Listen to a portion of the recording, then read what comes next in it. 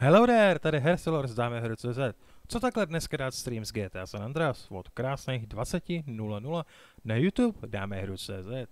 Povedlo se mi optimalizovat GTA, by to šlo na těch přijatelných 30 fps.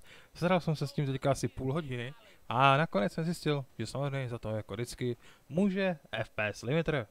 Takže dorazte, budu za to rád a my se uvidíme na streamu.